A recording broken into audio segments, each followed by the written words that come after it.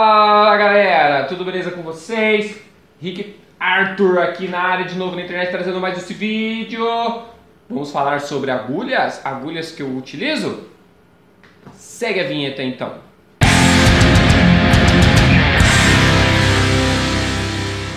Fala galera, tudo beleza com vocês? Espero que sim. Vamos lá, vamos falar hoje sobre agulhas. Tem uma galera aí pedindo, eu, tava, eu já tinha anotado no caderno esse tema e chegou a hora, né? Com no vídeo aqui de terça-feira. Então vamos lá, galera. É uma explicação hoje um pouco mais longa do que os vídeos de quinta, né? Vídeos de quinta destinados apenas às dicas e sugestões. Hoje vamos explicar um pouco mais. Então, galera, mas antes de mais nada, não é inscrito aqui do canal, e se inscreva aqui então. Clique aqui no joinha se curtiu o vídeo sininho. Não se esqueçam, clique nesse sininho e, e sinalize para receber as atualizações cada vez que eu fizer vídeos novos aqui no YouTube. Beleza? Então vamos ao que interessa. Agulhas. Quais os modelos hoje presentes, né? Lembrando que essa dica não vale apenas para os iniciantes, né? Porque de certa forma eu também sei que eu posso atingir, assim como eu assisto vídeos toda semana, eu assisto vídeo de alguém de, seja dica, seja vendo o cara tatuando, seja vendo um produto novo, não importa. Eu estou sempre tentando me atualizar. E mesmo quando eu assisto o vídeo daquele cara que eu não gosto muito, eu acabo também pegando algo de bom daquele vídeo. Alguma coisa ele falou que eu. Bom, esse cara falou um negócio, foi legal, hein? Não sabia disso, vou tentar. Então, galera, vamos lá. Para, para aqueles que talvez já também já estejam acostumados há muitos anos na área também, acontece assim, o cara também veio de um tempo onde a agulha era soldado, o cara penava para conseguir fazer umas agulhinhas legal, pá, e pegar o jeitinho de colocar, fazer as magnos certinha tal, era difícil, né? Para você que vem desse tempo, eu sei o quanto era difícil. As minhas primeiras tatuagens, quando eu estava fechando esse braço aqui, é, o meu tatuador, no caso na época, o Alex Marins, eu vi ele fazendo as agulhas soldadas, porque eu até falava, porra, por que você não deixa essas agulhas prontas, cara? Né? Deixa prontinha aí, que o cara chegar, você já traça direto nele. Aí ele respondia, né, na, na sempre. Porra, cara, eu te falei, eu não posso, é, a agulha enferruja, eu tenho que soldar na hora, por isso que eu fico puto quando o cara não vem. Enfim, é, então com isso, ah, hoje, com esse tanto de agulha, o, os caras acabam se adaptando apenas com aquelas que eles, que eles estão acostumados desde então, mas tem vários modelos hoje que pode ser útil, basta testar e ver se consigam colocar no dia a dia, né? Dentro dos estilos, seja o que for que, que esse tatuador faça. Então, o que, que acontece? Existem hoje alguns modelos mais comuns que são, principalmente no Brasil, que a gente ainda tem uma falta de modelos, né? Mas, enfim, a Round Line a Round Shatter, O Shatter, lembra? Tem um escrito aí que me corrigiu a pronúncia. Valeu, mano. Eu esqueci seu nome, mas valeu. Round Shatter e as Magnums. Tem as Magnums reta e tem aquela Magnum curvada, onde ela faz uma curvinha, que eu esqueci o nome dela. Então, o que, que acontece? Normalmente a gente usa uma máquina para pintar, uma, de traço. Dificilmente eu vejo as pessoas usando a Round Shader, que agora eu estou usando também, que eu não usava, né? E a Magno curvada, até porque está difícil de encontrar para comprar. Eu mesmo queria comprar uma Magno 15 curvada, não estou achando para comprar, né? Então, infelizmente, às vezes é um pouco mais difícil, mas sempre tem os fornecedores que tem. Ah, então, com isso, eu fui testando. Eu testava traçar com Roundliner 3, depois eu testei com 7, aí depois eu voltei para 5, testei pintura Magno 11, 13 e 15, eu fui comprando e testando. E com isso, eu fui me adaptando. Opa, gostei mais dessa. Então, por exemplo, você vai traçar com uma 3, você tem que ter uma habilidade, muita habilidade. Eu tenho amigos que usam a 3, o, Bituca tatuou no caso, quando eu comecei a tatuar, ele falou, ah, eu uso a 3 tal. E aí eu fui tentar traçar com a 3 e. Mano. Só ele mesmo vai fazer traços bonitos com a 3 e eu não consegui legal. Eu uso a 3 para fazer detalhes finos quando nos meus trabalhos realistas, né? No caso, ah, aquela coisinha do olho, as pintinhas brancas, aquelas fiozinhos de barba, eu uso a 3, mas normalmente eu tenho usado mais a Roundline 5. Então, é, E tem aqueles caras que acabam também usando, por exemplo, a round shader para traço, para fazer, por exemplo, trabalhos old, trabalhos de new school, oriental, que são aqueles traços largos, né? Tem gente que gosta de ir desenhando com uma agulha de traço mais fina. Porém, essa galera usa uma essa round shader de 14, 15 para fazer aqueles traços, fica aqueles traços maravilhosos assim, ó, grossos, parece que foi feito com a canetinha, né? Eu acho muito bonito. Eu ainda não tive a chance de fazer muitos desses traços por conta do estilo que eu adotei que não tem traço, mas mas eu gosto muito. Então, então eles adaptaram, a, a, no caso, esse tipo de agulha que é para é pintura, no caso, para fazer traço e funciona muito bem. Então, por isso eu sempre digo que toda técnica não existe uma regra, não existe uma lei universal. O que existe é serve para você, então ótimo, siga em frente. Serve no sentido, está tá dando bom resultado?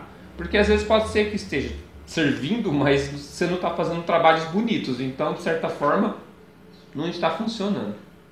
Então, o correto é teste tudo que você tem à mão. Ó, hoje eu vou testar tal coisa. Você viu um trampo novo ali, você fala, cara, eu vou testar aquela agulha, lá, lá, lá, lá, lá. Aí você monta a máquina tal, tenta. Ah, não está cortando legal, não estou conseguindo legal. Aí você volta para outra e assim por diante. Com isso você vai chegar ao seu setup, né? O meu setup hoje, que eu acabei funilando só a esse kit praticamente, é Roundline 5, uma, é uma Round Shatter 7, uma Magno 11, Magno 9 e Magno 15. Então, são cinco tipos de agulhas que eu mais utilizo. Então, por exemplo, para um trabalho realista grande, eu já logo monto uma Magno 15, uma Round Shatter 7, uma, uma de traço, no caso, uma, uma Round Line de 5 no meu caso, quando eu vou fazer trabalhos realistas, trabalhos grandes, eu sempre monto aquele kit básico que é o que eu uso. Depois eu vejo a necessidade de montar mais alguma coisa. Mas, basicamente, eu uso Magno 15, uma Magno 9, uma Round Shatter de 7 e uma Round Line de 5. Basicamente eu monto isso, mas já aconteceu de eu precisar montar uma ou outra, ou então trocar agulha, que eu já vou explicar já no meio do trabalho. Então, mas aí eu vou fazer um trabalho menor, desse tamanho, tal. Aí eu não monto, por exemplo, a Magnum 15. Aí eu acabo montando ou a Magnum 9 ou a Magnum 11. Né? Então, ó, eu não uso Magnum 7, é, Magnum 13 eu já usei, mas hoje eu não estou usando mais porque eu estou usando a 15. O uh, que mais? Roundline 7 não estou usando praticamente quase nunca, é só num trabalho específico que tem um traço médio ali em volta, aí eu acabo usando ela, mas eu tenho usado mais a 5. A Roundline 3 uso muito pouco, eu acabo usando só para fazer os detalhes como eu já disse anteriormente. Então a gente acaba ficando naquele setzinho, sempre, isso é bom, porque é sinal de que o resultado está saindo bem com aquele setzinho, me adaptou e está ótimo, né? E com isso eu não preciso ficar comprando aquele mundaréu de agulhas, né? Ou, por exemplo, tem agulhas que são mais caras, então essas agulhas mais caras eu acabo comprando para as que eu mais utilizo, né?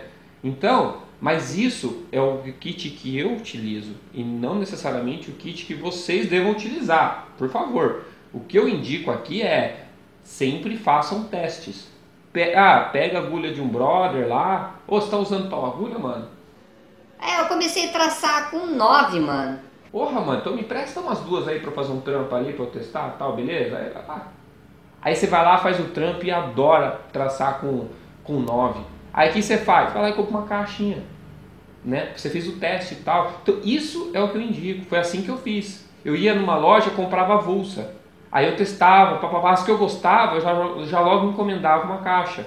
Né? Porque eu sempre fui fã de ter caixas. Eu nunca gostei muito de comprar avulsa né? Até pelo trabalho. Mas eu entendo que para quem está começando, tal, ficar comprando muito material é besteira, né? Mas logo que vocês tiverem uma rotatividade legal de trabalho, vocês vão começar a comprar tudo em caixas, beleza? Então, galera, basicamente eu uso poucas agulhas, como vocês puderam perceber, né? Mas que são úteis e, e sempre dá certo para mim, né? Agora, teste para ver o que dará certo para vocês. Lembrando que não é errado você ter todas as outras, sabe por quê? Já me, me ocorreu uma coisa de um amigo que uma vez me disse que o seguinte: agulhas são como pincéis para um pintor.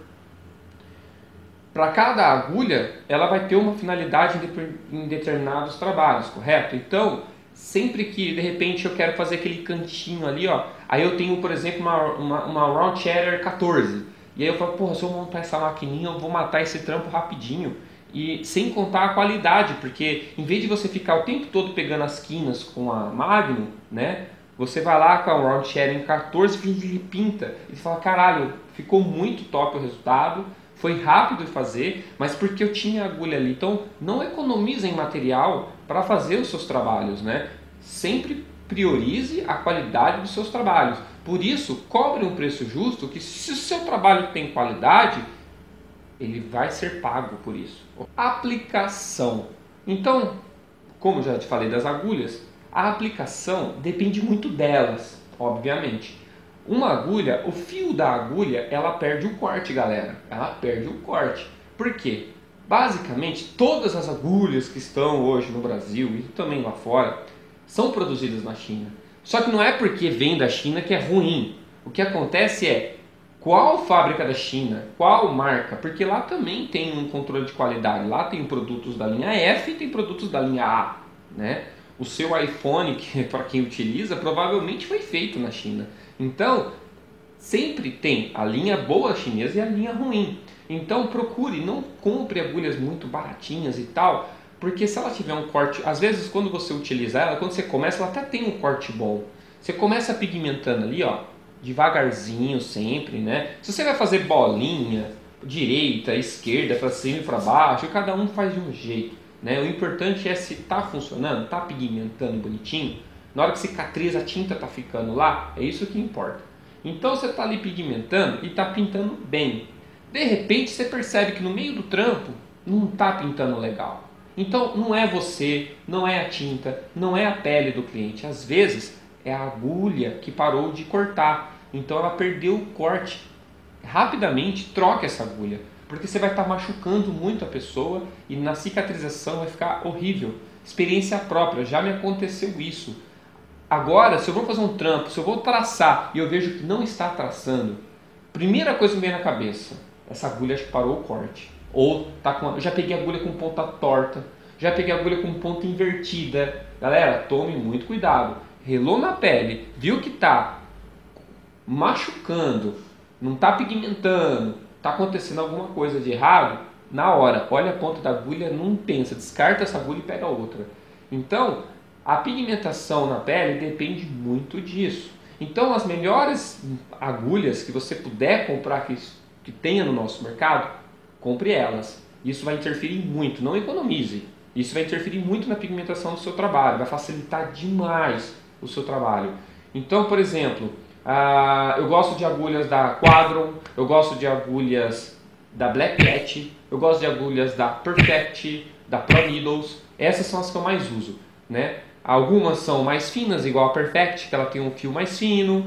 Tem a, a no caso da Quadron, é uma agulha muito boa. Ela é uma, só que ela é uma agulha até que você pode, você consegue escolher se você quer a long tape, que é aquela que é mais comprida ou a afiação dela é mais longa, ou se você quer ela mais fina, ou se você quer ela com uma agulha mais grossa. As outras, infelizmente, você não pode escolher esse tipo de configuração mas são ótimas agulhas também, eu as utilizo. Mas, mesmo assim, eu sempre tomo esse cuidado. Se eu, ver que, se eu vejo que tá ali, o trampo não está rendendo, não está pintando, às vezes a pessoa vai lá, aumenta a voltagem da máquina, porque diz que a máquina está lenta e acha que o problema pode estar na máquina, ou mesmo a tinta, né? Nossa, essa tinta no pigmento, eu devia ter comprado a marca tal. E às vezes o problema não é a tinta, e nem a máquina, né? É a agulha.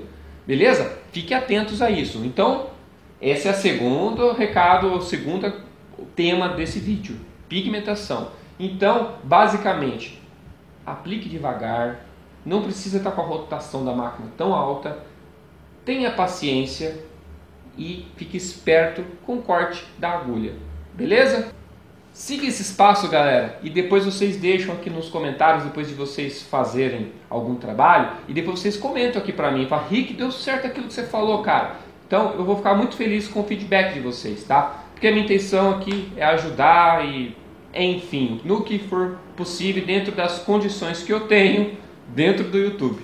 Beleza, galera? Então é isso aí. Fica um forte abraço do Rick, um beijo no coração de vocês e valeu!